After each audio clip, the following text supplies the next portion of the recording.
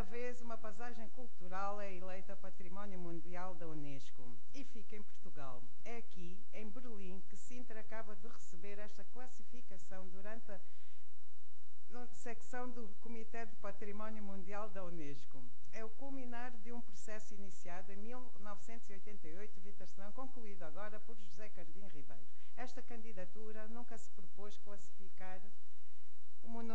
conjunto arquitetônico, mas sempre como um complexo conjunto que vai da Vila à Serra e que envolve espaço urbano e espaço natural.